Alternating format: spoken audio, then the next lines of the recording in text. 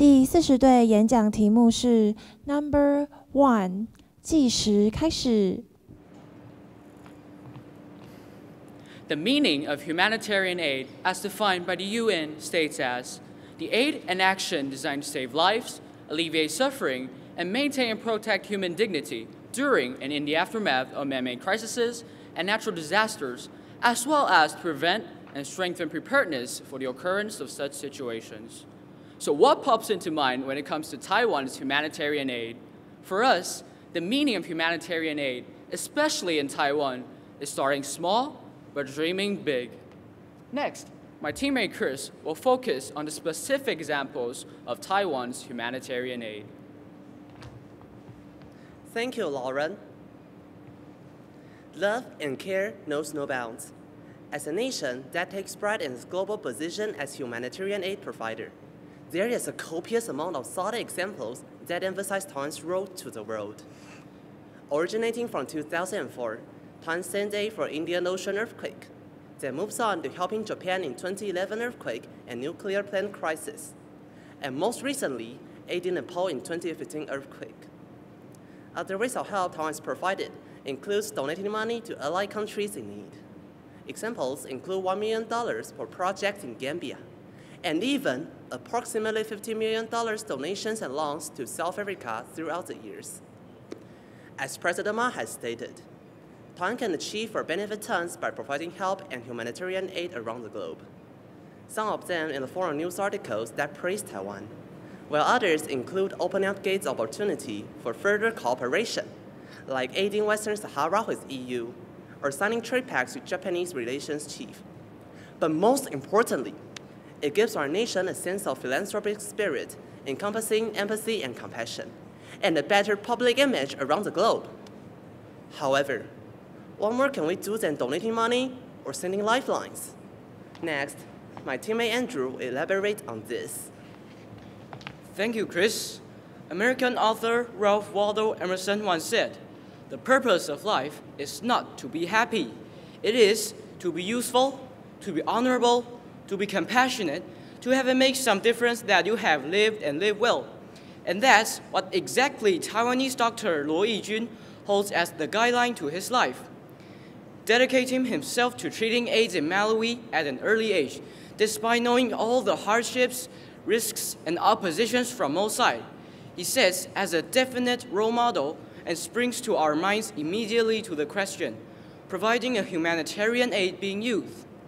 While serving in Taiwan's army as alternative service troop, Losa held the severity of the HIV disease in Malawi could crumble a whole country. He was inspired to continue his study in infectious disease and gradually became the authority of the field. This is the elevation Taiwanese youth can bring to our nation's humanitarian aid. Next, my teammate Norbert will highlight how we can inspire our youth to follow their footsteps. Thank you, Andrew. To ignite the caring spark in Taiwan's youth hearts, our government has encouraged and held many different activities inside school campus and out. Starting small, Taiwanese youth can participate in the many different competitions or events MOFA holds each year, such as the Youth Ambassadors, Model United Nations, and Student Envoys. All these activities take place within schools, making it convenient and reachable for youth at our age. Gaining experience after these activities, Taiwanese youth can move on to greater actions, including delegations such as the 2015 Taiwan Youth Delegations to visit Ottawa, held by external offices of Taiwan, or partake in events like Spotlight Taiwan Project Agreement, a treaty signed for exchange between Taiwanese students and the world. In addition, many local organizations such as Taiwan Panorama, Tzu Chi's Overseas Volunteering Foundation, and Youth Volunteers of Red Cross Taiwan all provide numerous amounts of volunteering opportunities for Taiwanese youth. Next, my teammate Lauren will sum up the speech for us. Thank you, Norbert. Starting small, but dreaming big with love, that's how we think Taiwan's youth can involve in our nation's humanitarian aid.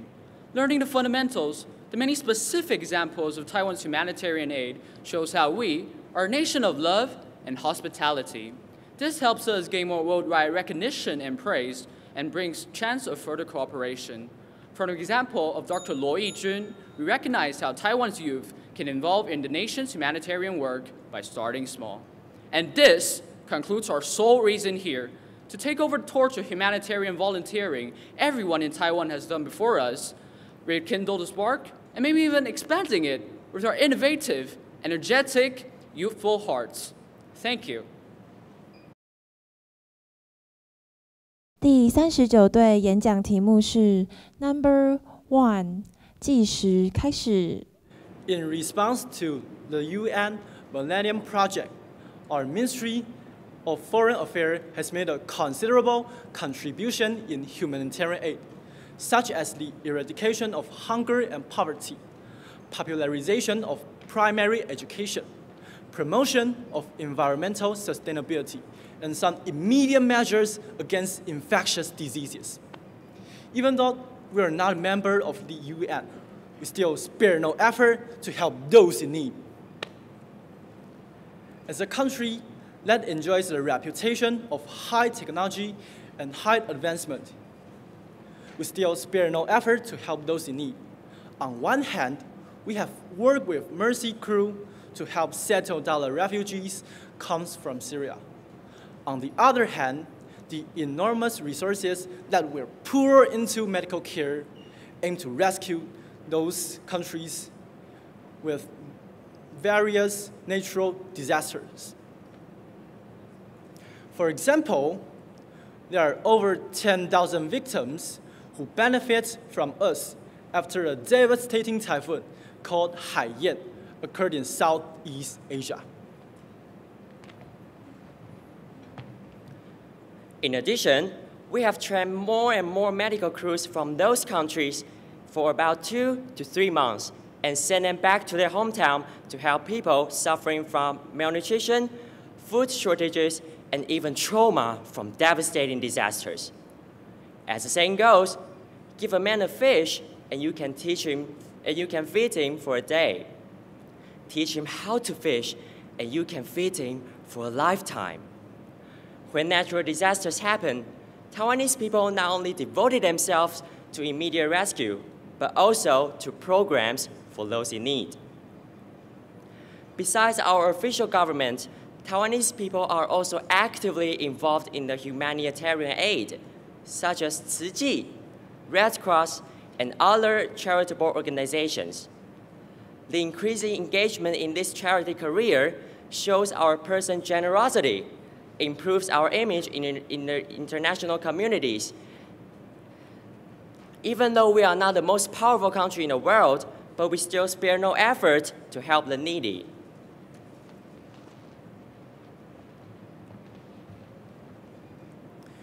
When the horrible terrorists attacked America, our Tzu was one of the only three organizations coming to their aid. When the first earthquake destroyed Sichuan, we helped them with money and medical resources. Every, everything we've done shows that Taiwan is a country full of love and peace. As a young generation, what we need to do is to cherish the legacy that the adults pa- passed down to us. We should do our best to help those who are suffering from miserable living conditions. Even though we might not have enough money, but we have the privilege to use the internet to call for help and raise awareness around the world in certain needs. And Alex, can you give us any examples? For instance, we can share or post what is actually going on in those vulnerable countries on Facebook and Instagram so that more and more people can keep up with the latest international circumstances. And we can also raise funds on internet so that we have more resources to help victims. And last but not least, we should take over the responsibility of being a person that is willing to help others all the time. Signing up for volunteering camps to help remote schools and children in Taiwan, or even joining international charity groups like Red Cross to help sufferers around the world. Although we might just be an ordinary citizen, but we shall do what we are able to do and do our best to make this road better.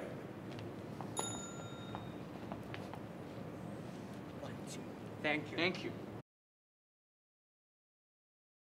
第三十六队演讲题目是 Number Two，计时开始。 20 years ago, my dad was doing his PhD in England. In order to get the visas to go to Germany and France for his academic research, he had to visit their respective embassies in London and spend almost 200 US dollars and more than one week to get the visas. What was worse, at the embassy, he was directed to wait in a specific line for people from special districts instead of Asian countries due to Taiwan's ambiguous status in the international community. Honorable judges, ladies and gentlemen, good morning. But now, the situation has changed. Our government has negotiated with 153 countries to grant us visa waivers or landing visas. What significance does this breakthrough imply? Here, my teammates would like to elaborate more. Sophie? Thank you, Sean. It's hard to imagine Taiwanese people had to spend that much money and time to get foreign visas. But today, we can travel economically and conveniently. By immersing ourselves in a completely different country, we can broaden our horizons. I'm fascinated by the breathtaking scenery of the Rocky Mountains in Canada, the magnificent historical castles in England, and the romantic atmosphere along the Seine River in Paris. When it comes to traveling abroad, being an ROC passport holder is no longer an obstacle or a burden. Traveling abroad is now a feasible and productive way for us to develop international perspectives. And more importantly, to realize more opportunities to strengthen our interpersonal relationships. In this way, we can definitely enhance mutual understanding among countries. But it's more than that. Willie will tell us more. Willie? Thank you, Sophie. I totally agree with you. Visa waiver programs not only facilitate the development of our global perspectives, but also give great convenience to business travelers. As an engineer of a multinational corporation, my dad often needed to demonstrate or maintain machinery for his foreign clients. But back then, it took him ages to get a visa, which caused serious delays to production schedules. Now that more and more countries have granted visa waivers to us, these problems no longer exist. Meanwhile, the freedom and ease of traveling has encouraged our people to participate in global affairs and remain competitive in trade. This not only benefits the individual, but also facilitates the economic cooperation between Taiwan and other countries. With easier access to foreign markets, business deals can be made to keep pace with international standards. It's been a tremendous boost to our economy. But there's more. Yvonne? Thank you, Willie. It's true that visa free privileges go a long way toward boosting our economic development and strengthening our relations with other countries. Besides developing international trade, visa waivers are a sign of Taiwan's ever improving diplomacy. Not only does it signify a position Taiwan holds on the world map, but it also recognizes Taiwan as a member of this global village. Our government has been implementing viable diplomacy since 2007, with the main goal of being pragmatic and flexible with our policies. This year, 10 more countries were added to the list, making Taiwan fourth in Asia and 16th in the world in terms of visa waivers. This is another step closer to global acceptance. The MOFA's constant effort has improved Taiwan's reputation while reminding everyone to maintain Taiwan's good image abroad. Back to you, Sean. Thank you, Yvonne. 153 countries have granted us visa waivers, landing visas, or other visa privileges. We are not only recognized as a member of the global village, but also treated as an equal on the world stage. Ladies and gentlemen, the world is getting smaller, but Taiwan is getting bigger and stronger. Thank you.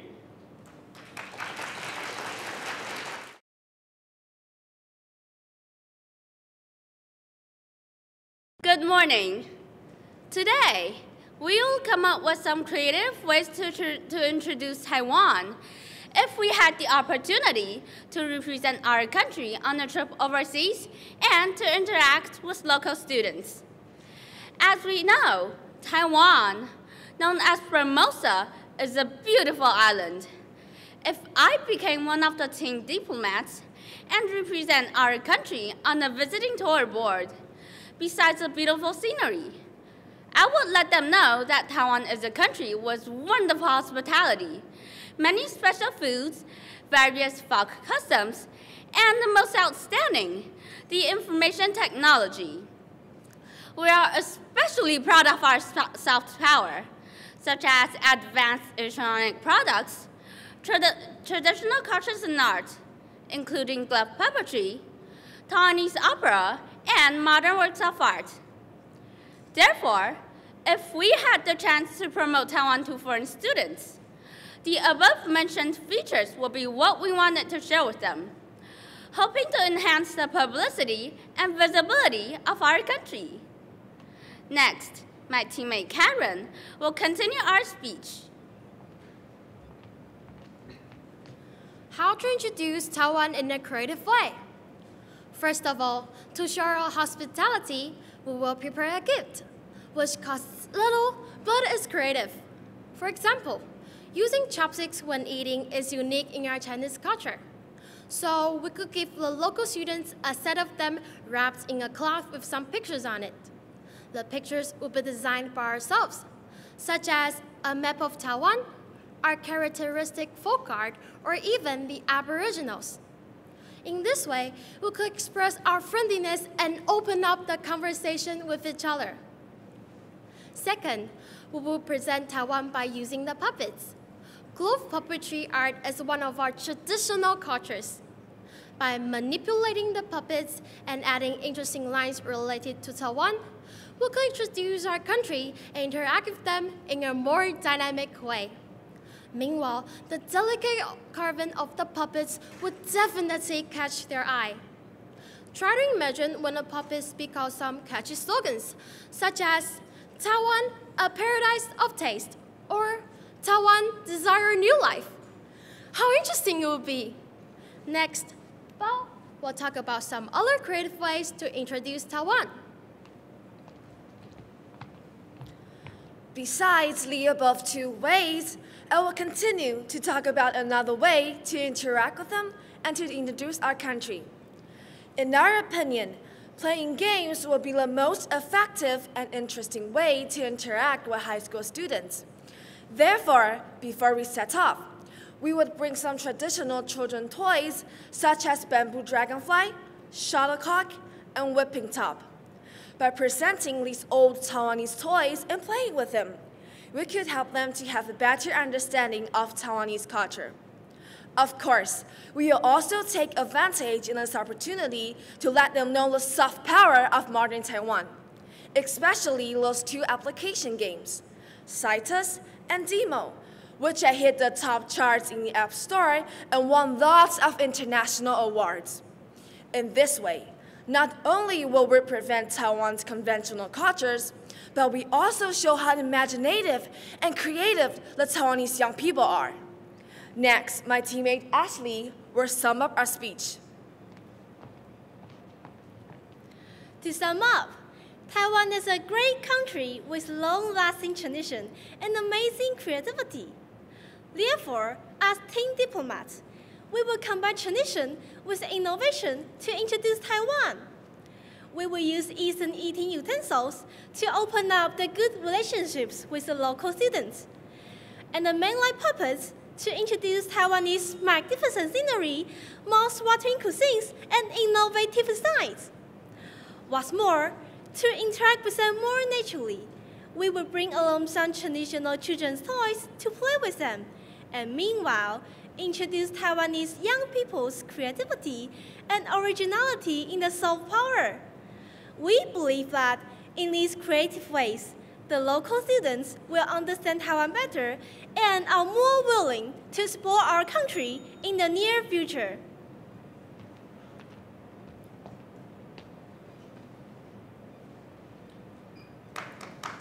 Thank you. 第二十七对演讲题目是 Number Four，计时开始。 Good morning, honorable judges, ladies and gentlemen. Taiwan has impressed the world with its multicultural compatibility. If we had a chance to represent Taiwan and go on a trip overseas to interact with the local students, we would like to introduce the diversity of Taiwanese cultures by making local delicacies and perform dance and music. Next, let's have Extana to talk more about how we can introduce Taiwan by making local delicacies.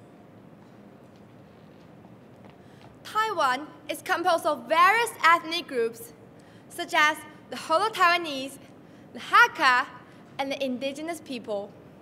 Each group has its culture, and the fusion of the culture contributed to the Taiwanese cuisine. For example, renbing is the Holo Taiwanese food, rice cake is the Hakka dish, and bamboo rice is the Aboriginal delicacy. Therefore, it is a good start to introduce the multiple culture in Taiwan with food. On account of difficulty in cooking during the trip overseas, we came up with the idea of modeling the food in paper clay and displaying it to local students. With these paper clays, we can not only demonstrate the various Taiwanese food, but also demonstrate our creativity of making the food. These paper clay models can catch foreign students' attention and serve as useful visual aids when we introduce our culture. With concrete models and our elaboration, foreign students will surely be impressed by the diverse culture in Taiwan society. Next, let's have Bobo to, to talk about another way to introduce Taiwanese culture. In addition to food, dance is another way we can introduce Taiwanese culture. Aboriginal dances, for example, are one of the traditions of the indigenous people in Taiwan and reflects their passion. We can introduce this culture by performing some easy and interesting dance moves to initiate foreign students' interest in learning them. Later, we would teach them the moves and encourage them to perform the dance and experience Taiwanese Aboriginal culture in person. By dancing with us, they can experience Taiwanese Aboriginal culture in a direct way and feel Taiwanese Aborigines' happiness at the same time. After they experience the dance, they will be more happy to learn about Taiwanese Aboriginal culture, and thus our goal is achieved. Next, let's have Mandy to continue for us how we can use music to introduce Taiwanese culture. Music knows no boundaries, and thus it serves as a perfect medium in introducing Taiwanese culture. Last year, a Taiwanese flash mob sang in Kaohsiung amazed the public with their unusual singing performance. Likewise, we can use the idea of chorus performance to introduce Taiwanese culture to foreign students. We would compose a medley of Taiwanese, Hakka, and Aboriginal songs and sing it to our foreign friends. Through the melodies, we hope to strike a chord with our friends and promote the distinctiveness of Taiwanese music styles successfully. As long as the wonderful song can linger on their mind for some time, we know that we have had a piece of Taiwan etched on their memories. Last but not least, let's have Sunny to sum up for us. Taiwan is a melting pot of different cultures. which is reflected in food, music, and dance. If we have the opportunity to introduce Taiwan to foreign students, we would like to start with these three parts. We will make paper clay models of food, perform aboriginal dances, and sing a melody for the students to recognize the beauty of the multiple cultures in Taiwan. Also, we can promote Taiwan as a friendly country where different cultures are respected and tolerated. Through these actions, the beauty of our homeland will stay in our foreign friends' minds for a long time. Thank you. 第二十六队演讲题目是 Number Four， 计时开始。 Good morning. Let's take a virtual tour around Taiwan. Now, put on your glasses. Ready? Let's go! My friends, you're about to see the nature, culture, food, and civilization of Taiwan. After this, I guarantee that you will want to fly to my country in no time. We first start flying, flying over the coastlines, basins, plains, hills, and mountains. This is Taroko Gorge, rising high above Liwu River like a 3D water ink painting. Now we're on the Alishan Forest Train, reaching up to 2,800 meters high above sea level. Wow! See that breathtaking sunrise? After the train ride, time to take a dip in the hot springs in Beitou, Jiaoxi, Ruisui, and Zhiben. Ah, fountain of youth. All weariness is washed away. Let's head south to Kending. With warm weather all year round, we can do all kind of water activities. Look at the vast blue ocean stretch all the way to the horizon. Feeling enchanted already? Maggie will take you further to the essence of Taiwan. Thank you. Good morning. Ethnic diversity is the essence of Taiwan. It has shaped Taiwan's distinct tradition and culture. First, Taiwanese Aboriginals are believed to be the origin of Austronesian peoples. Each tribe is worth exploring for their individual cultural legacy. Second, the grandeur of Chinese culture is perfectly preserved in our National Palace Museum. Here, you can admire all the fabulous collections of Chinese artwork and artifacts. Now, let's walk out of the museum and go join the Mazu tour, the largest religious pilgrimage in Taiwan. Mazu is an ancient sea goddess. There are about 1,000 Mazu temples in Taiwan. She is regarded as a patron for Taiwanese people. Join the Mazu tour. Have Mazu's blessing bestowed upon you.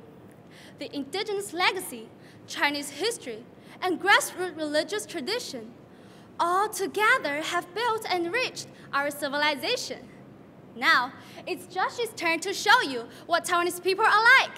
Thank you. Good morning. So, what are Taiwanese people like? First of all, we're always ready to lend a helping hand. Wherever or whenever disaster strikes, Taiwanese volunteers are there, raising funds, rescuing lives. We are there. Getting lost in Taiwan? No worries. We will help you find your direction in no time. What's more, according to crime statistics from the FBI, Taiwan is ranked the world's second safest country. We can walk on the street any time of the day without worrying about gunshots or robbery. Taiwanese people are famous for being kind and friendly. We embrace the world with hospitality and humanity. After hearing all this, we should go grab a bite together. CNN has told the world that Taiwan is the best food destination in the world. Now, Billy will prove it to you. Thank you. Good morning. Mmm, smell that? From the Michelin Star Awarded restaurant to fresh seafood delicacies to street food at the night markets, the diversity of Taiwanese food is just incomparable. Gourmets from around the world can always find something to their liking and eat to their heart's content. The savory gravy filled xiaolongbao, omelet stuffed with fresh oysters, the mouth-watering three-cup chicken, stewed or red braised beef noodle, take your pick. Whatever you eat, your meal won't be complete without a cup of ice in hand. You already know about bubble tea. What you don't know is that no country in the world has invented more ways to drink tea as Taiwanese do. So, try one each day, and you'll realize that you have to stay in Taiwan forever just to finish all those kinds of teas on the menu. You have seen the culture, nature, food, and civilization of Taiwan. Now, we conclude this virtual tour. Are you intrigued? Welcome to Taiwan. Thank you. 第二十四对演讲题目是 Number Three，计时开始。 Good morning, judges. Imagine walking into a restaurant and you glance upon the counter, ordering every single seafood dish on the menu. Then, imagine the exact same scenario, but there are no more fish in the world. In 2048, that will be exactly the problem. Overfishing has become a global disaster, and we are here to help prevent the extinction of fish. Issue is crucial for us Taiwanese since we are surrounded by sea and dependent on fishing. We can help alleviate these issues through a systematic process. Together, let's help preserve the fishes. And now, let's welcome Ian to elaborate more on how we can do so. Ian? Thank you, Charlotte. Fish are disappearing at a pace out of humans' control. 90% of fish stocks are already gone and can no longer be retained. Demanding an abundance of fish also means that fish we don't normally eat are consumed by accident, also known as bycatch, which is when fish are caught and killed when swimming into nets. The main reason for this is humans' increasing demand for fish, having fish in multiple meals per week. As Taiwanese students, we can get together and form a club called STOP, which stands for Stop the Overfishing Process. In the club, we can get together and discuss the importance of this issue and urge schools to reduce the amount of meals with fish.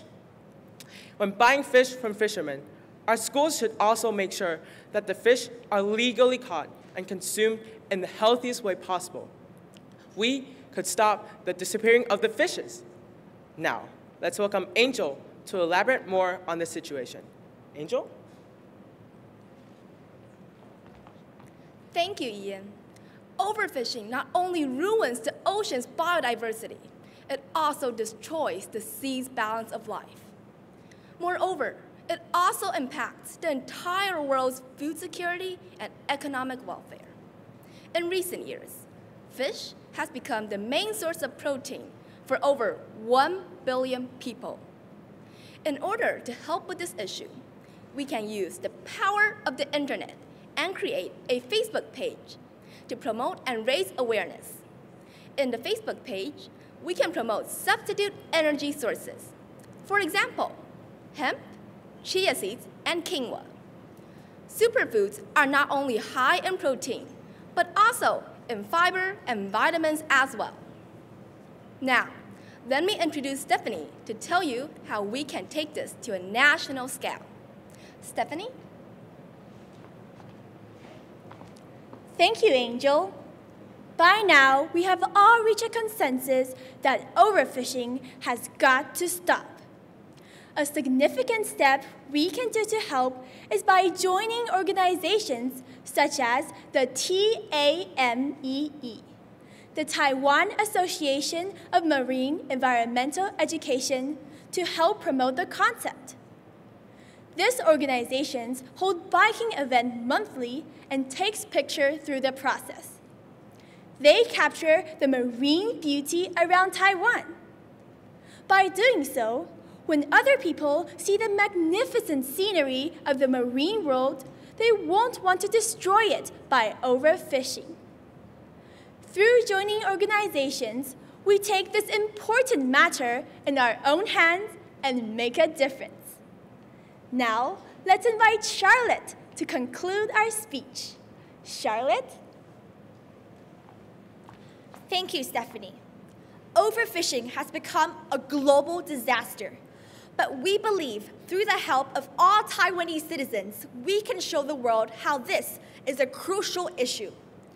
Through the small actions of Taiwanese people to the bigger actions, we can impact the world. Perhaps in 2048, not only will we be able to preserve the fishes, we can also retrieve the fishes we have once lost. Ian, Angel, Stephanie, together, let's, preserve the fishes! Bow.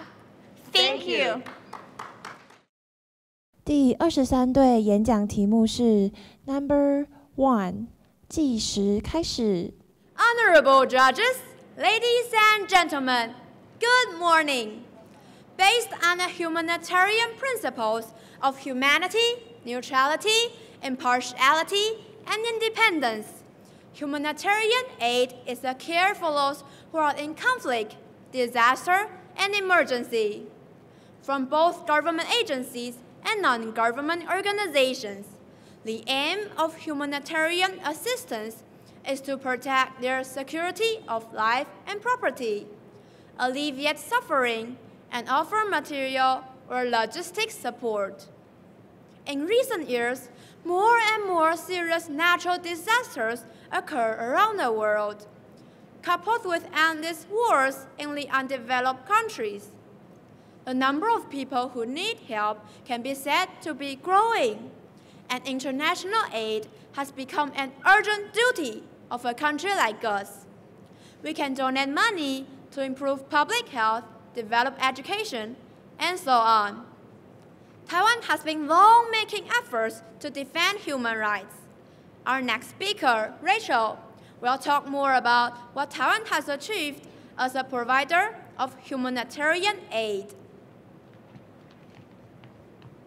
A friend in need is a friend indeed. A report in Japan said so. In 2011, Tohoku earthquake and tsunami had caused a disastrous accident. At the crucial moment, Taiwan quickly dispatched our rescue teams to help evacuate the victims. Besides, the government and the people of Taiwan contributed at least 6 billion NT dollars, ranking first in the world, and even more than the total amount of donation from 93 countries. On the other hand, in 2013, after the Philippines was hit and seriously devastated by a strong typhoon Haiyan. In addition to the donation, a great number of relief supplies, including tents, solar generators, 80 tons of rice, and so on, were transported there by 18 military aircraft of ours. Simply from the aforementioned two examples, we can see how enthusiastic Taiwan is in the rescue operation of international aid. Next, Vicky will talk about how young people in Taiwan can get involved in the work of humanitarian aid. Although young people may not have the ability to donate much money, there's still a lot waiting to be accomplished by us. Take Chen Luoshao for instance, this young girl who was awarded the honor of the 10 Outstanding Young Persons last year has been working hard on international social assistance. In 2010, when Haiti was disrupted by a serious earthquake, many children lost their families and became orphans. Chen Luoshao went all the way to Haiti to accompany them to learn and play, regardless of potential dangers. For a whole year, she stayed there for a mere purpose of helping them tide over their difficulties. What she has done really made her a role model of young people in Taiwan. And I do believe that we should follow in her footsteps and seize every opportunity to get involved in such work and to devote ourselves to what matters. Then, our last speaker, Melody, will give you her idea and make a conclusion on this topic. As a Taiwanese, I do feel proud of our country for being able and being willing to help out. We, young people, should also take it as our responsibility to improve the condition of the people who need help in every corner of the world. Although we are only senior high school students, we might be able to bring about a little positive change. We can join associations to help vulnerable groups, actively participate in voluntary work to engage in humanitarian assistance, and do a lot to comfort the soul of victims. As Barack Obama said, change will not come if we wait for some other person or some other time. We are the ones we've been waiting for, and only when we have compassion for others can we have the ability to change the world a better place and join the real happiness and peace with people around the globe. Thank you for listening. 第二十一队演讲题目是 Number One，计时开始。 Good morning, everyone. Today, we're going to talk about humanitarian aid. What do you think humanitarian aid is? Well, basically, the explanation will be material or logistical help provided for humanitarian purposes, typically in response to humanitarian crises. Saving lives, alleviating suffering, and maintaining human dignity are the top priorities when we execute humanitarian aid. Through various organizations and the power of youth, we can heal the wounds, provide shelters, and improve the world. And now, my teammate Esther here is going to tell you about government's actions. Thank you, Michael. In many countries, violence and insecurity continue to cause massive internal and cross border displacements. The conditions could be worse if nobody came to their aid. Taiwan has always been a humanitarian aid provider to assist people in need. Take what we have done for Iraq as an example. We donated 350 prefabricated houses to North Iraq, which was highly praised worldwide. Also, in the year 2003, our diplomatic ally, Liberia, had suffered from civil war and starvation. To help them overcome the crisis, we provided 10,000 tons of rice. The Liberians called the rice white diamonds with appreciation. Taiwan's government also greatly supports the actions of non governmental organizations, both financially and politically. Take Taipei Overseas Peace Service and the World Relief Agency of Taiwan as examples. They both provide great humanitarian aids for Southeastern Asia. As you can see, humanitarian aid really integrates Taiwan into the world community. And now, my teammate Martina is going to talk about our personal experience. Thank you, Esther. Humanitarian activities are not exclusive to rich or charitable organizations. Every youth can get in on the act as well. For instance, my homeroom teacher invited everybody to participate in a project initiated by World Vision. What we do is sponsor a little girl from Cambodia and improve her life with just a few bucks per month. Afterwards, we started to write postcards and send care packages to her. We be believe that donating is a good method for youth to participate in helping the society. Moreover, humanitarian aid also includes mental comfort. We can spread love and care to the world by using actual actions.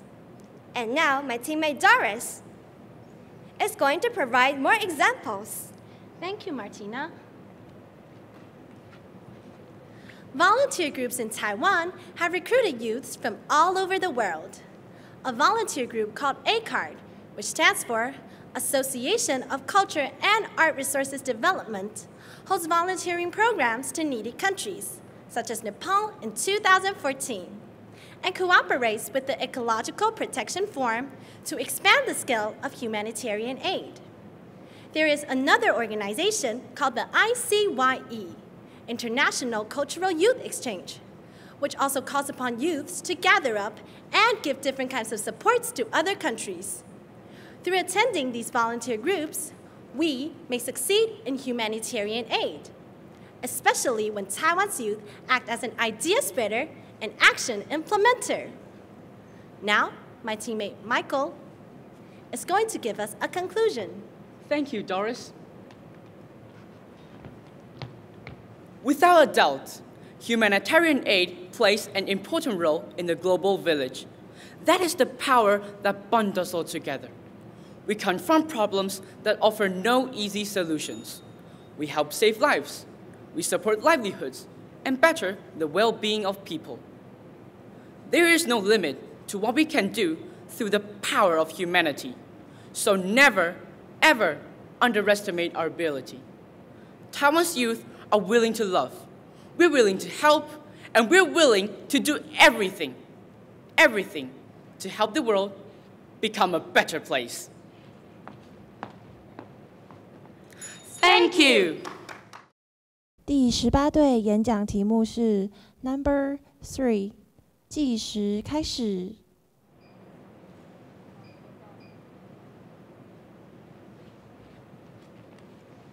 Good morning, ladies and gentlemen.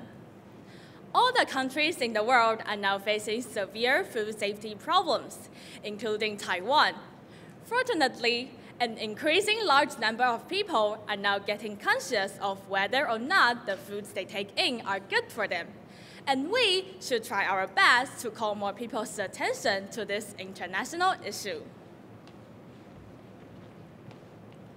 A few months ago, the Food and Drug Administration of America set 2018 as a deadline before which there were foods of unhealthy trans fats, which lurked in many popular products such as fast food and frozen meals. Trans fats have long been linked to the risk of coronary heart disease, the world's leading cause of death. So, by reducing trans fats, FDA hoped it could cut down on the number of, heart, of deaths from heart disease each year. In addition, some countries already noticed the problems caused by excessive use of food additives, such as artificial sweeteners and edible pigment. Advocates who call for stronger regulations on food additives state that they can come with a list of side effects.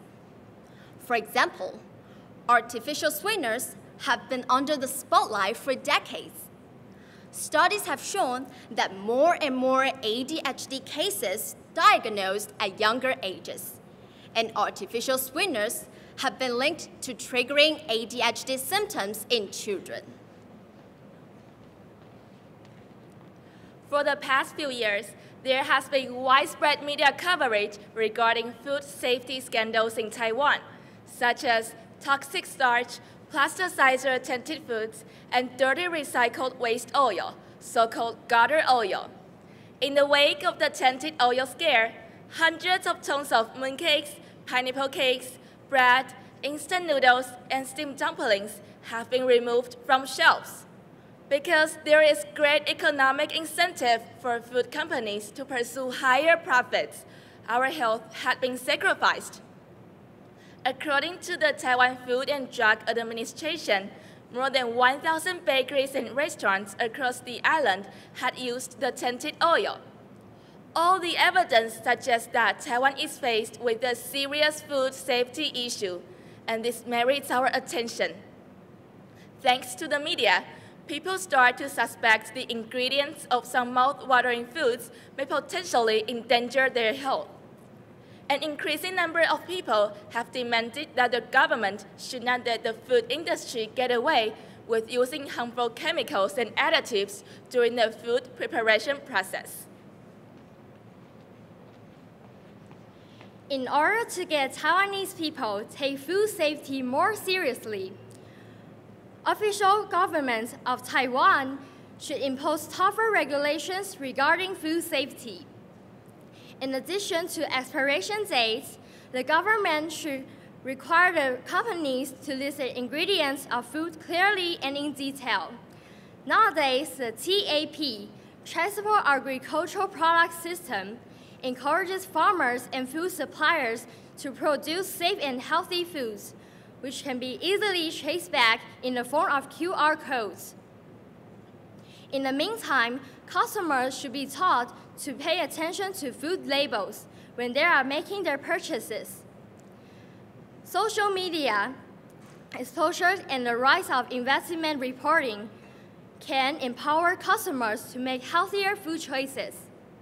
What's more, in the process of food manufacturing, we should scrutinize it and report it to the public to raise the people's attention and so as to make the people know the food are do no harm to their health. Food is a necessity to people, but it can also cause damage, damage to our health if not chosen properly. Countries and countries should all work hand in hand to protect our physical well-being. Furthermore, Taiwan is the food capital of Asia. Many foreigners come to Taiwan for its delicacies. Because of that, we Taiwanese people should cherish what we own and take food safety more seriously. Lest anything tarnish, tarnish Taiwan's incredible food reputation. Thank you for your attention.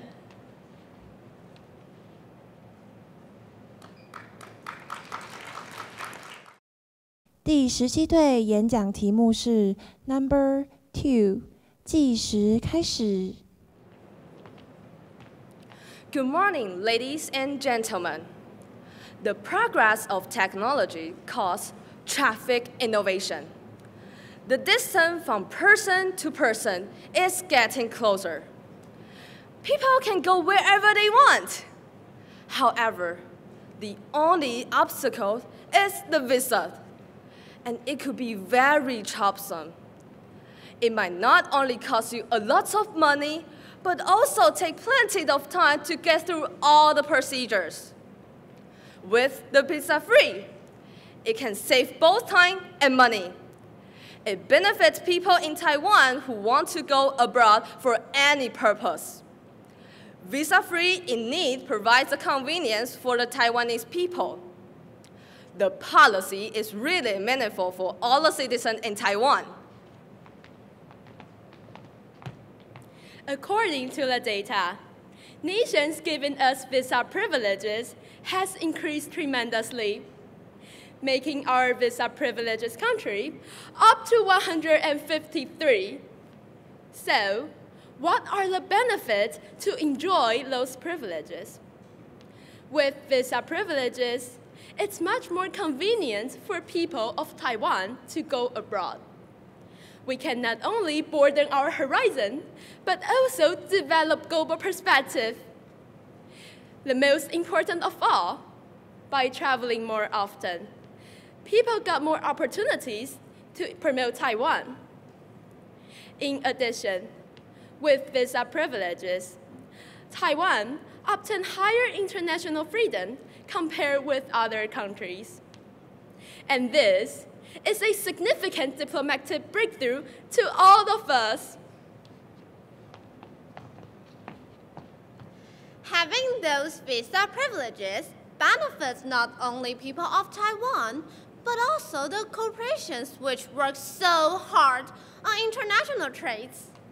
According to the research, there are 130 to 159 countries attending visa waiver program in Taiwan. So what does this project actually work? How does it benefit us? Visa-free simplifies the procedures and help make international trade prosper. What's more, to those corporations, it can also lower the cost of employing Taiwanese cadres Visa Free signifies the official endorsement of their travel documents indirectly as well.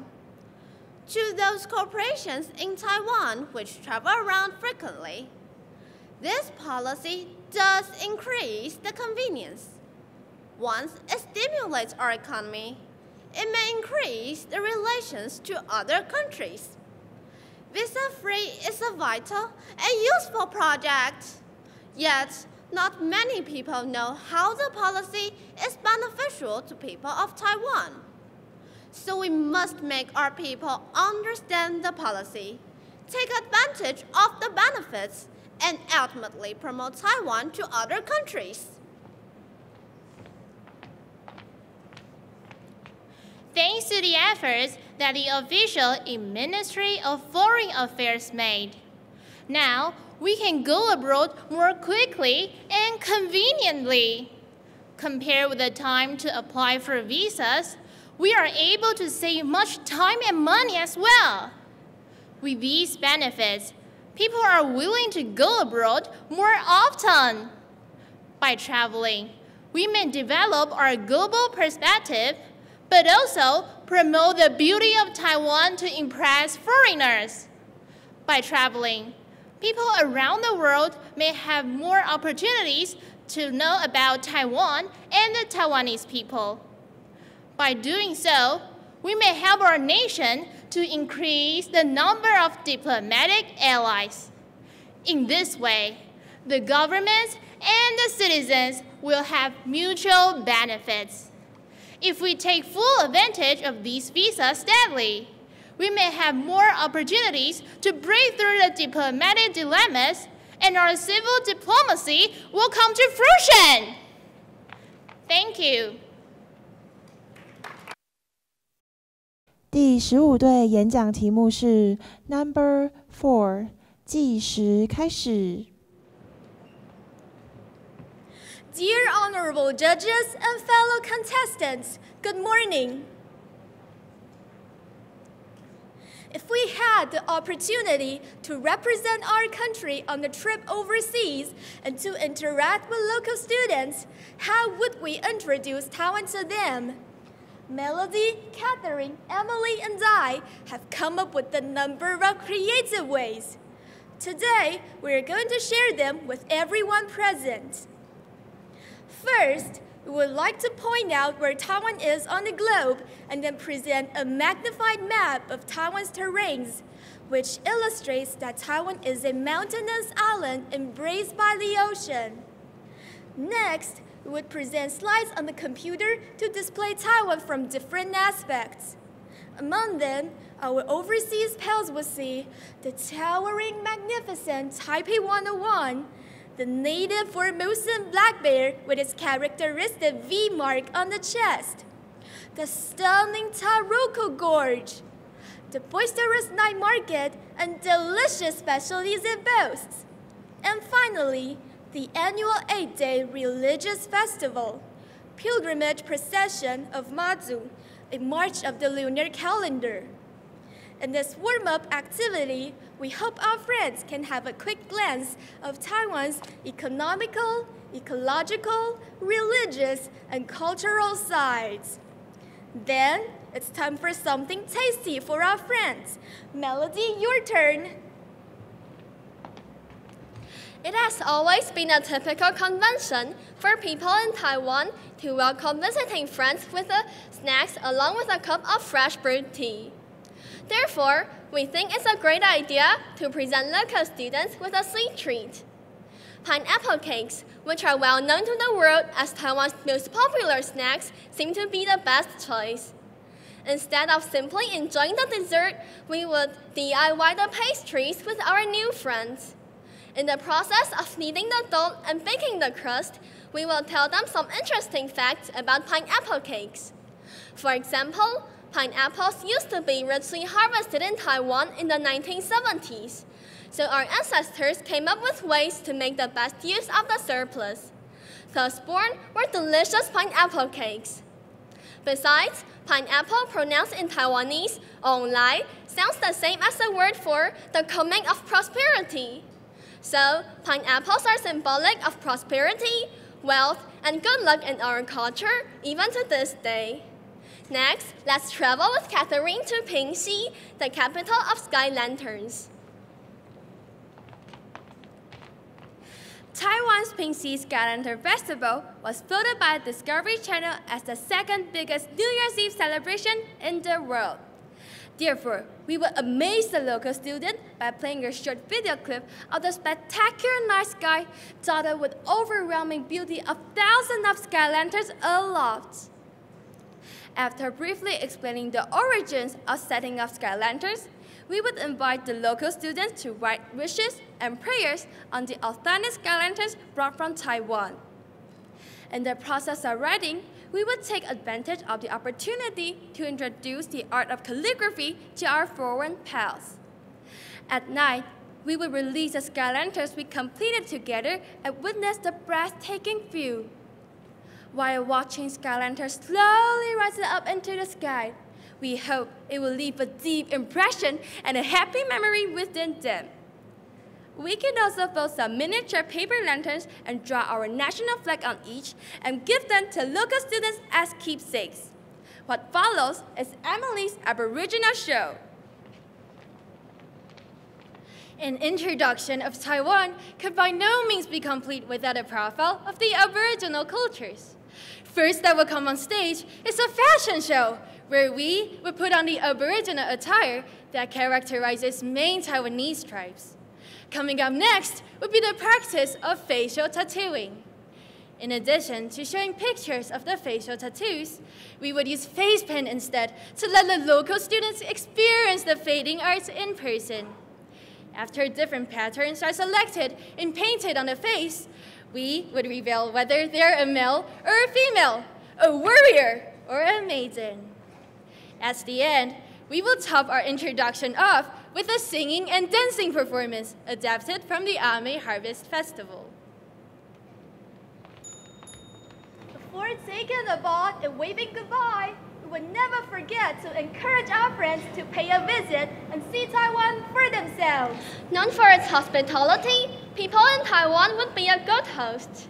Just be our guest! 欢迎来做客! Thank you for your attention. 第十四队演讲题目是 Number Five，计时开始。Good morning, dear judges. Our topic is number five. We live in an international and interconnected world, which is becoming interdependent because of the explosive knowledge and technology growth. In this increasingly globalized world, we and other countries are connected in many ways, and interaction among us can't be avoided. Therefore, it is important for us, the global citizens, to expand our vision toward a global perspective. But what is a global perspective? A global perspective refers to the way or situation in which a person views or regards something and relate it to the rest of the world. This worldview characterizes a person's ability to view issues from the point of view of people living in other countries. People with a global perspective will have a better understanding of worldwide business and be capable of taking a broader view of experience, knowledge, and learning. They also tend to seek to understand their own, the links between their own lives and those of people throughout the world.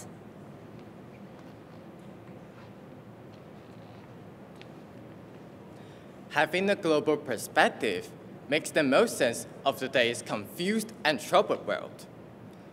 The wars happening far away in the Middle East may have an impact on our economy. The air we breathe could be polluted because of the air pollution in a far-away country. The coffee consumed in the local cafe may influence the farmer's life in Africa. As a member of the global village, we can't escape from the impact of local activities on the globe. With regard to such things as pollution, exploitation of natural resources. Thus, we have to raise the awareness of world issues and strive to maintain a global perspective at all times, with the goal of sustaining and improving the earth for current and future generations to enjoy. Such awareness includes the multiple aspects of the environment, human rights, sustainability, poverty, fair trade, and global health, etc. Since it's important for us to expand our vision toward a global perspective, how can we develop ours? As a senior student in Taiwan, it is not affordable to spend a big sum of money to travel all over the world to acquire the world views. What on earth can we do to achieve the goal? In fact, Taiwan has already been a mature society with modernization. We can take advantage of the modern technology, such as the internet, to help us to have a better understanding of other countries, and thus attain the goal of developing our global perspective. In our present life, we spend most of our time at school studying and don't have many opportunities to travel abroad. Hence, studying history, languages, cultures may be very good ways for us to gain a global perspective too. In those classes, we learn to characterize our points of view to form an international perspective.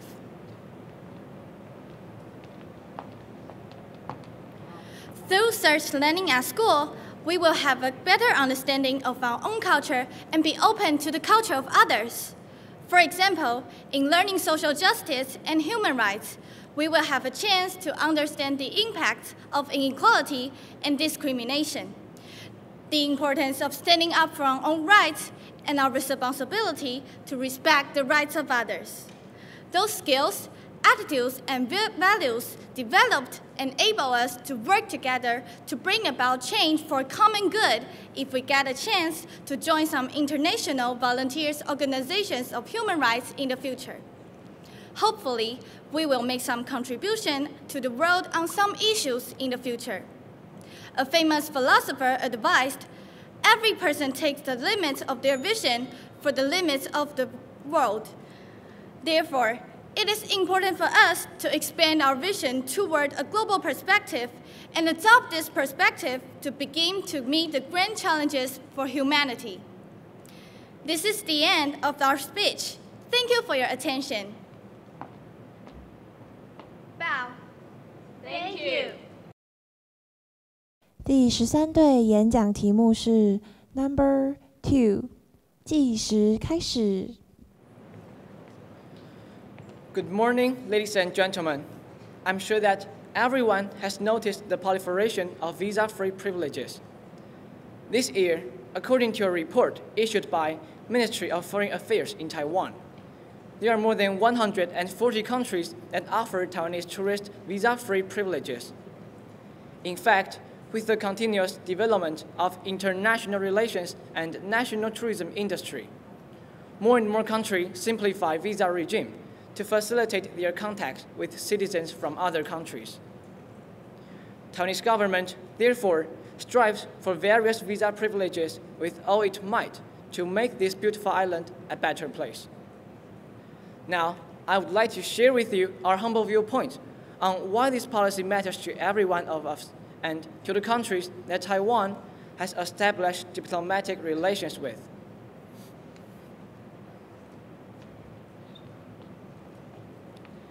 First of all, the greatest advantage of such a policy lies in conducting business on an international scale with a new level of ease. When business trips to other countries become uncomplicated in a new era of e-commerce, numerous opportunities for exchanges and cooperation increase. Multinational corporations that engage in business bring a lot of possibilities. Meanwhile, by integrating e-commerce industries, telecommunications, and networking, we can surely market the best of Taiwan, further our local industries, and better overseas markets. Thus, the policy not only facilitates the spread of international business and trade, but also allows businesses a greater ability to grow, to spread different ideas, and to conduct business deals among multiple countries.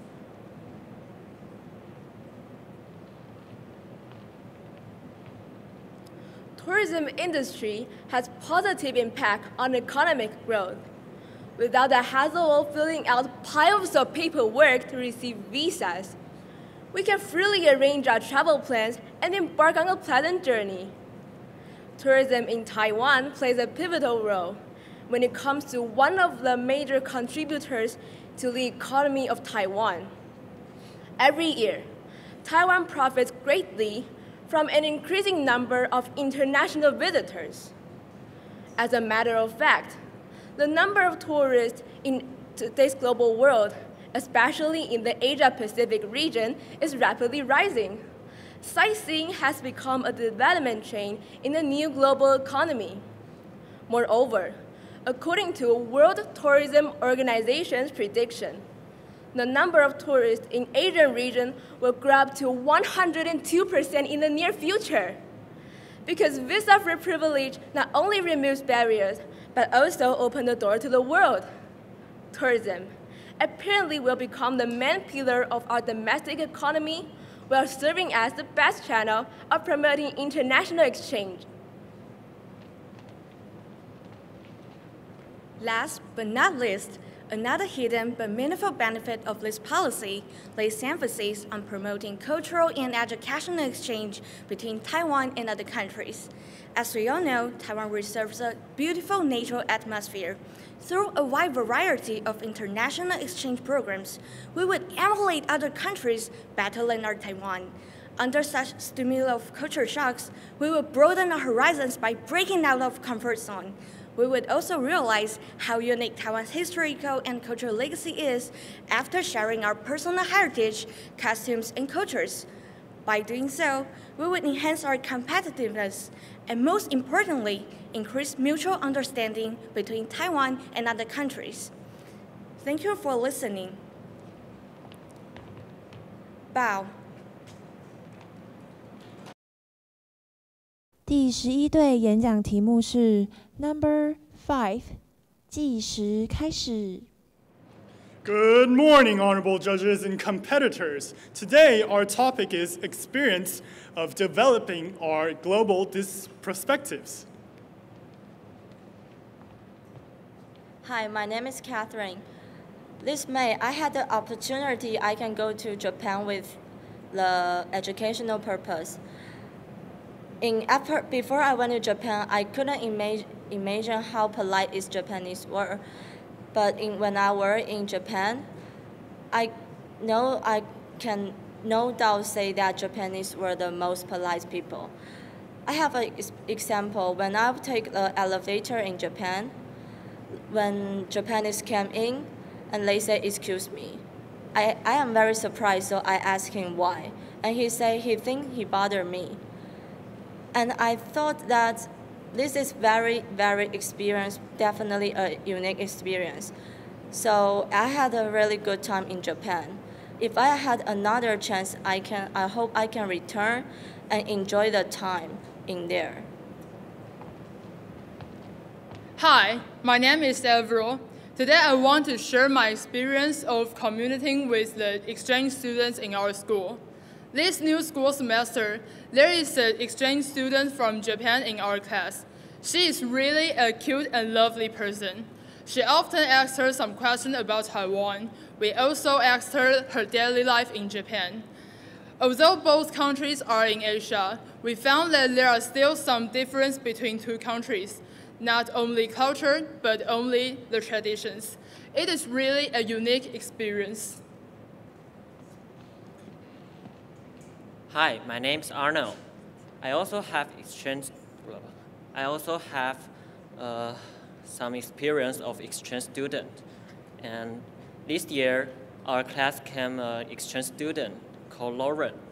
Is she's from America, and uh, when the first time we saw her, she was quite shy and quiet, but after a few months, she was very energetic and passionate.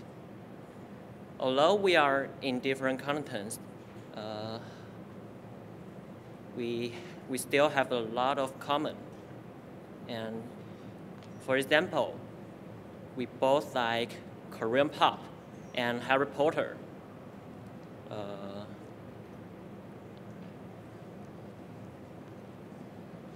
I hope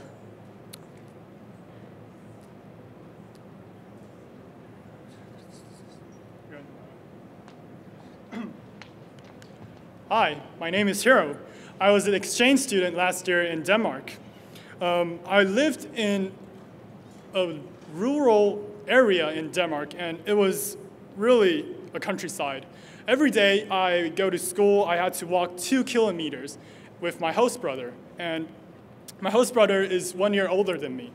And every day we had, we had to talk about different topics because two kilometers is really a long way. And so every day we talked about the differences between Taiwan and Denmark. And we found out that although we had a lot of like differences on cultures, traditions, and food, we both enjoyed parts of different cultures. And um, during my stay there, we really had a great time. And we talked about a lot of political, political problems between Taiwan and Denmark. Like Denmark has a lot of problems with Muslims. And recently, the news with Syria and war, the war zone in Syria, there was a lot of refugees created. And we talked about that as well.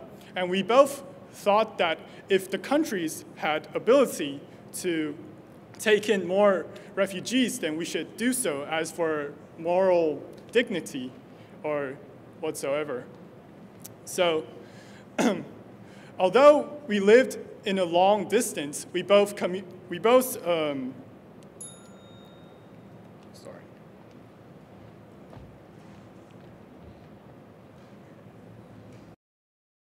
第十对演讲题目是 Number Four，计时开始。Good morning, honorable judges, ladies and gentlemen. Now, we are going to share with you our opinions on how to introduce Taiwan to local students if we had a chance to travel overseas and interact with them. Here, I will be a captain and welcome the local students aboard the flight, leading them to get a better understanding of where and what Taiwan actually is. First, I will show them the location of Formosa by means of Google Maps. I will let them see the grandeur of mountains and landmark Taipei 101. Besides, I will expose them to Taiwanese culture and unique festival experiences, such as traditional food and religious rituals.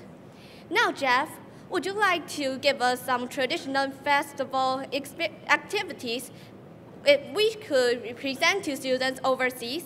Jeff? Yes, thank you, Tiffany.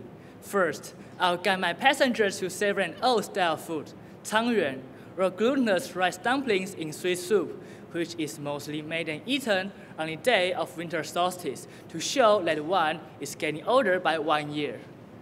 I could get the ingredients of tangyuan in the Oriental food store and make them with the local students to experience the texture of tangyuan telling them its sticky touch means inseparability and its sweetness represents the happiness of family life. What's more, I could prepare sky lanterns, releasing them into the night sky with the local students' wishes written on the lanterns. In this way, they could experience the true spirit of Lantern Festival in person.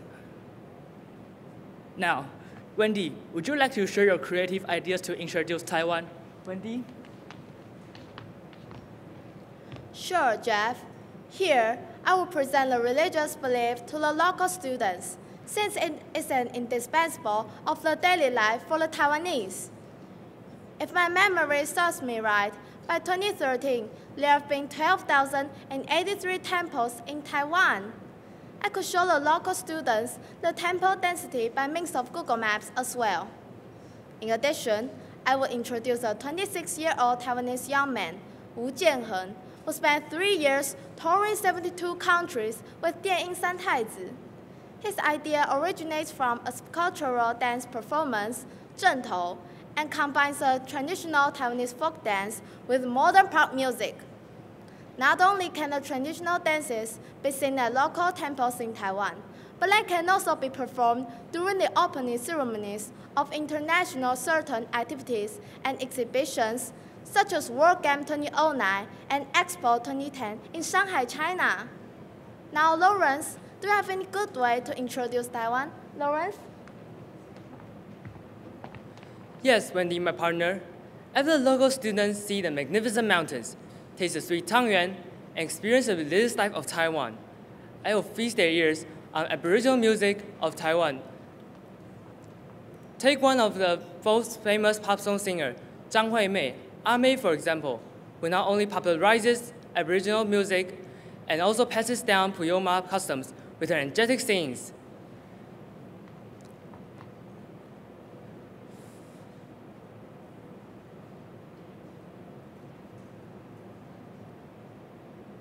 Now, at the end of our flight, would you like to say something, Tiffany, our captain? Thank you, Lawrence.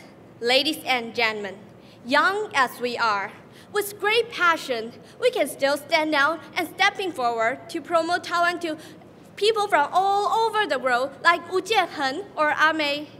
After all, it's our responsibility to keep our traditions and to pass down the cultural heritages and existence to not only the next generation, but also to the whole world. Thank you. Thank you very much.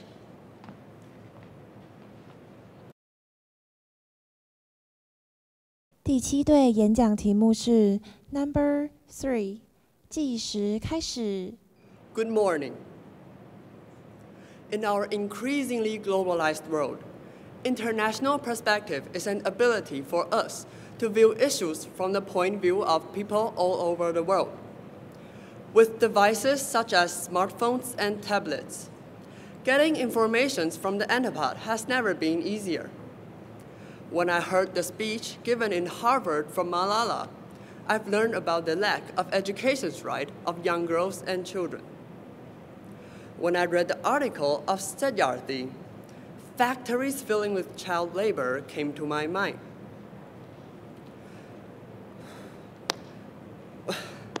International perspective. Fuck. Through the internet, I've built, I've, I've built up the most important part and also the meaning of having international perspective. That is, having compassion for others and be able to see what they need and what we can do for them. Next, we'll have Zoe to talk about more. In many different ways, developing countries where the most important reserves of the biosphere are found, continue to fuel the development of wealthier countries at the cost of their own present and future. The developed countries out to help pay this debt by significantly limiting their consumption of non-renewable energy and by assisting poorer countries to support policies and programs of sustainable development the poorest areas are less capable of adopting new models for reducing environmental impact because they lack the wherewithal to develop the necessary processes and to cover their costs. We must continue to be aware that there are differentiated responsibilities. We need to strengthen the conviction that we are one humanity there are no frontiers or barriers, political or social, behind which we can hide. Still less is there room for the globalization of indifference. Next, Kelly would further elaborate. Utah Phillips once said that the earth is not dying, it is being killed, and the people who are killing it have names and addresses. Indeed, we, human beings, are devastating our homeland while seeking further development. So, how should we raise the environmental awareness and what can we do? Zhang Yanzhong, a Chinese engineer who started the Eurasia Green Gallery, had crossed 13 countries from Beijing to Rome in 210 days by bike. Riding on a bike with two other friends, John started their journey on April 22nd, which is the World Earth Day. Along the way, they've planted 335 trees with local residents, promoting the environmental awareness to neighboring communities and schools. Considering the various weather in different places, John and his partners did a lot of research so that they could plant appropriate trees in suitable places instead of hurting our treasurable land. Moreover, all of the trees they planted are positioned by the GPS and were all entrusted to the locals. And now we'll have Benny to conclude our speech.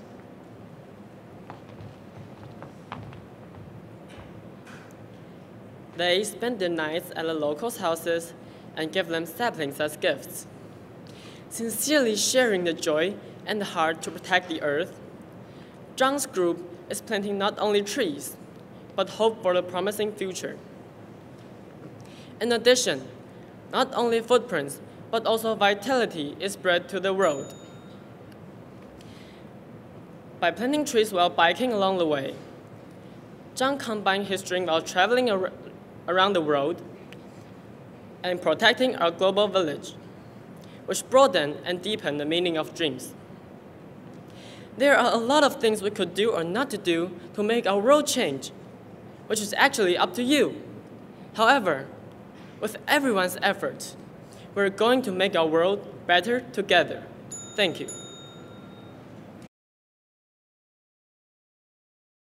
第六队演讲题目是 Number Two，计时开始。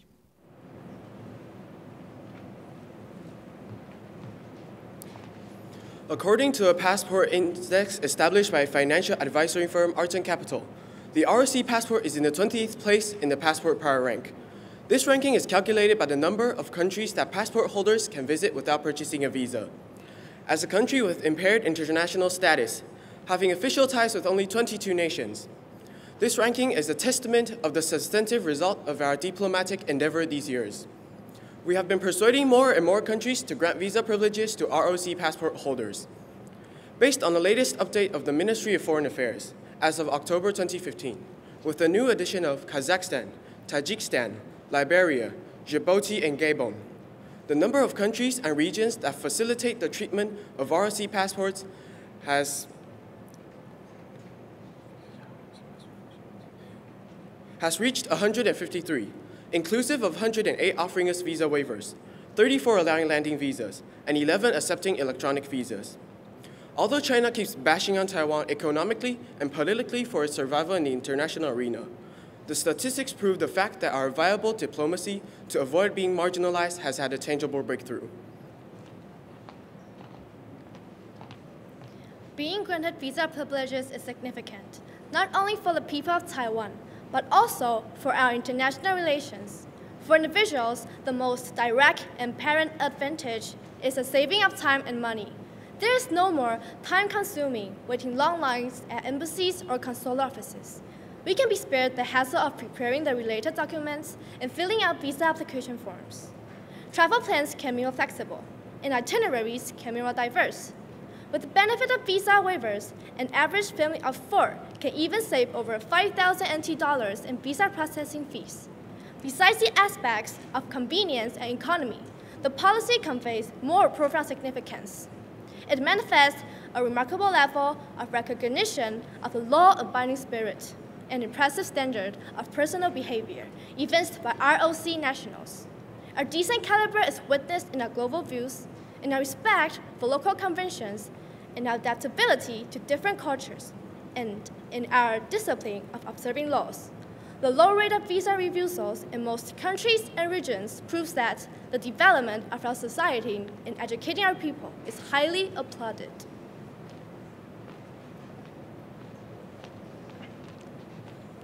In terms of our international relations, the privileges of facilitated entry signify the success the ROC government has achieved through concerted efforts over the past few years. Our prosperous economic growth, outstanding intellectual performance, monumental cultural accomplishment, noteworthy humanitarian commitment, and acclaimed political stability are all the specific facts that pave the way for diplomatic acknowledgement. For the international trade, the visa policy helps expand our overseas market and expedites our involvement in world commerce.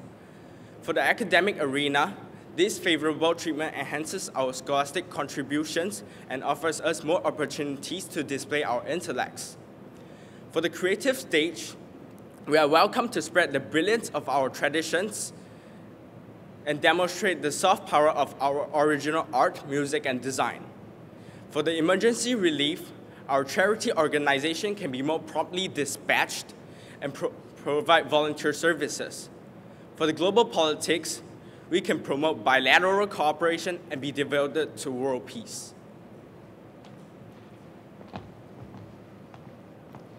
According to statistics provided by the Tourism Bureau from 2009 to 2014, among the top 10 most frequented outbound destinations of the Taiwanese, Japan, Hong Kong, South Korea, Macau, Thailand, U the US, Vietnam, Malaysia, and Singapore have granted the visa privileges.